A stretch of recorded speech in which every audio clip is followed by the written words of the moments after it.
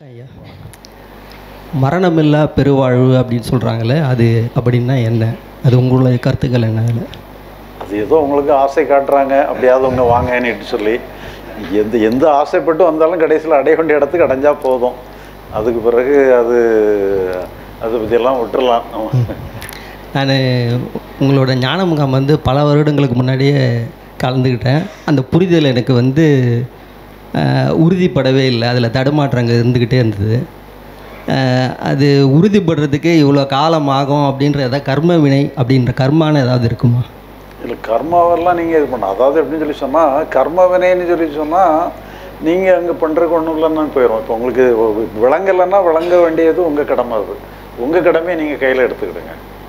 நீங்கள் புரியலைன்னு சொன்னால் எப்படி எதில் டிஸ்ஃபை எங்கே கன்ஃபார்ம் எதில் ஏன் ஆகலைங்கிறத நீங்கள் கேளுங்க. கேட்டு உங்களுக்கு கன்ஃபார்ம் பண்ணிக்கிடுங்க நீங்கள் கன்ஃபார்ம் பண்ணிக்கிட்டீங்கன்னு சொன்னால் இது சாதாரண மேட்டர் தானே இது ஒன்றும் கஷ்டமே இல்லையே அது. இத்தனை வருடங்களாக ஏன் அந்த புரிதல் உறுதிப்படலை அப்படின்னு எனக்கு நானே உள்ள கேள்வி கேட்டுக்கலாமா?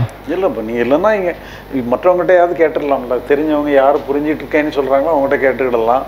அல்லது நீ எனக்கே கூட ஃபோன் பண்ணி கேட்டுக்கிடலாமே. நம்முடைய இந்த சிந்தனையில் இன்ப நாட்டமே இல்லாத ஒரு நிலையை எய்துறது தான் வந்து விடுதலை முக்தி அப்படின்றதா? இல்லை அதாவது இன்ப நா- அப்படியெல்லாம் நீங்கள் சில கன்க்ளூஷனுக்கு வர்றது தான் உங்களுக்கு டிலே ஆகுது. எந்த நாட்டமும் இல்லை எல்லாமே கரெக்டு தானே? எதுவுமே தப்பு கிடையாது. இன்ப நாட்டமே இல்லைன்னு சொன்னால் இயக்கமே இல்லாமல் போயிடும் எல்லாமே இருக்குது எல்லாமே ஒரு அளவோடு இருந்தால் போதும். எல்லாமே ஒரு அரேஞ்ச்மெண்ட்டுக்கு வந்தால் போதும். அதில் ஒன்றும் பிரச்சனை இல்லை. இந்த கான்சியஸ் மைண்ட் டோட்டல் மைண்ட் சொல்கிறீங்க இறைவன்கிட்ட வந்து நம்மளோட அந்த வேலைகளெல்லாம் அதாவது நமக்கு எட்டாத காரியங்களை இறைவன்கிட்ட ஒப்படைச்சிடணும் அப்படின்றீங்க. இப்போ இது நாள் வரையிலும் அஞ்சான அஞ்ஞானத்தால் நம்ம செய்த தவறுகள் பாவங்களுக்காக அந்த இறைவன்கிட்ட வந்து மன்னிப்பு கேட்குறது பாவ மன்னிப்பு கேட்குறது சரியான நிலையா?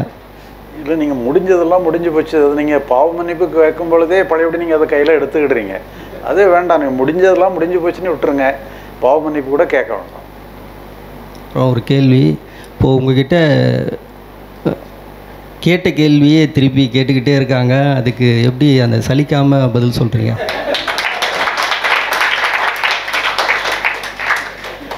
இல்லை ஒவ்வொரு கேள்வியும் நான் புது கேள்வியாக தான் பார்க்குறேன்.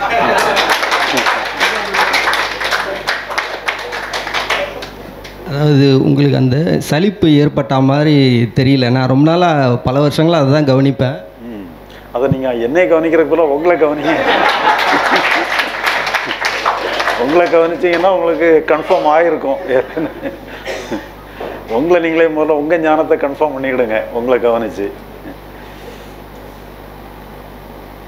மனதில் உறுதி வேண்டாம் அப்படின்னு சொல்கிறீங்க ஆனால் இந்த ஞானத்தில் மட்டும் உறுதியாக இருங்க அப்படின்னு சொல்கிறீங்க எதனால் அது? இல்லை மனசுங்கிறது ஒரு ஃப்ளோவாக போயிடணும்ல அது வந்து ஒரு இடத்துல ஒரே நிலையில் இருக்கக்கூடாதுங்கிறது. ஒரே நிலைக்கு வரக்கூடாது. அது ஃப்ளோயிங் ஸ்டேட்டுக்கு போயிடணுங்கிற மாதிரி அந்த அர்த்தத்தில் சொல்கிறோம் ஞானத்தை உறுதிப்படுத்துறதுன்றது அதாவது ஒரு தத்துவ ரீதியாக இந்த தத்துவத்தை நான் மனசால் ஏற்றுக்கிட்டேன் அப்படின்ற தன்மையா? ஆமாம் இதில் டவுட் இருக்கக்கூடாது. உறுதிப்படுறதுன்னு சொன்னாலே டவுட்லெஸ்ஸாக புரிஞ்சுக்கிட்டீங்கன்னு அர்த்தம் தான் வேறு எதையோ ஒரு நிலையை பிடிச்சு வைக்கிறது இல்லை ஞானங்கிறதே கூட நீங்கள் ஒரு எதையோ நிலையை பிடிச்சு வைக்கிறது இல்லை ஒரு அண்டர்ஸ்டாண்ட் பண்ணிக்கிட்டீங்க டவுட்லெஸ்ஸாக அண்டர்ஸ்டாண்ட் பண்ணிக்கிட்டீங்க. இங்கே இதுக்கு மேலே ஒன்றும் பண்ண வேண்டியதில்லைங்கிற முடிவுக்கு வந்துடுறீங்க. அப்புறம் மறுபடியும் அதே கேட்குறேன்னு நினைக்காதீங்க. இந்த இறைவனிடத்தில் பாவ மன்னிப்பு கேட்குறது தேவையில்லையா? ஆமாம் அதான் சொல்கிறேன்ல நீங்கள் பாவமன்னிப்பு மொத்தத்தில் வந்து உங்களுக்கு தப்புன்னு தெரிஞ்சனாலே பாவமன்னிப்பு கேட்ட மாதிரி தான் தப்புன்னுட்டு புரிஞ்சுக்கிட்டீங்கனாலே போதும். நன்றிங்க.